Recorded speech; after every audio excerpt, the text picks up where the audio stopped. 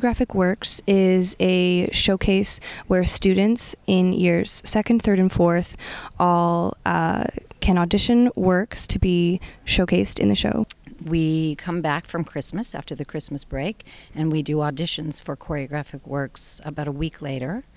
This year we auditioned 126 pieces over the course of two days and we deliberated and in the end we accepted 44 works. My piece is called Amidst the Shade.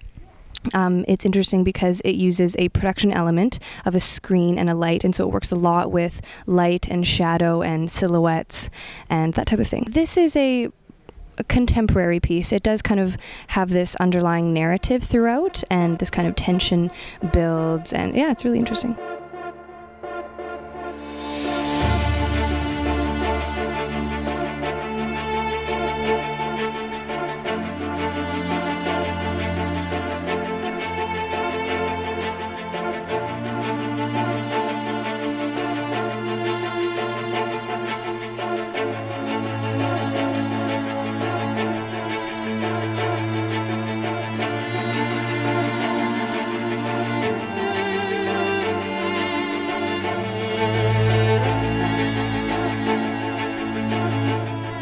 Contemporary dance is kind of the the general genre of the pieces, but there's modern, there's jazz, there's hip hop, a lot of contemporary. There's pieces that are a little bit more balletic, contemporary ballet. So there's a little bit of everything. Oh, I would never say, but I, I have I have a few favorites, and absolutely have a few favorites, but I would never say. well, I'm going back to New Orleans. It's a very um, intimate duet. Um, I think it celebrates. Um, it's like pure raw emotion and raw dancing. There's not. There's no gimmick. There's no. We don't have props or anything. It's just pure dancing because we both love to dance. We started choreographing the duet I think it was over Christmas. So that was kind of the starting point. And then it's been constantly changing and evolving since then it hasn't been necessarily an easy process. we We're fight both, a lot. We fight. we we have strong personalities, both of us, so it's tough. But I think the end product, like once we did the audition for the faculty, um, once we had a chance to work with our faculty advisors, it really started coming along.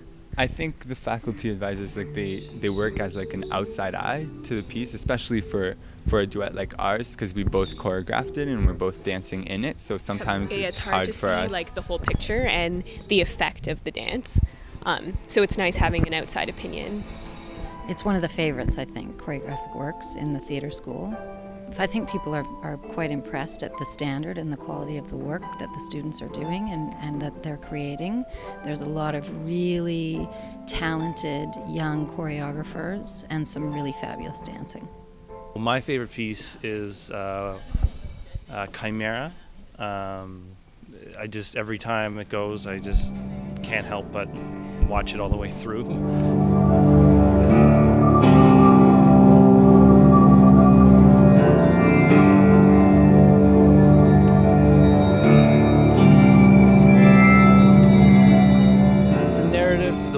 Done, the music, uh, the movement that they used. Um, it was it was it was a very powerful piece, and I, I really appreciated that. What inspires me to dance is a lot to do with um, my past and where I come from, and I dance not only for myself but for uh, people in my family, and I'm almost proving myself in a lot of ways.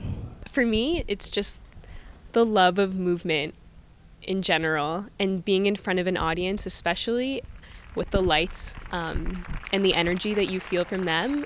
It just it makes you want to move on stage. And for me, I think what inspires me is just things that I live, that I feel in everyday life. There are a multitude of very, very talented people at this school, not only in the dance program, but in the acting program, in the production program.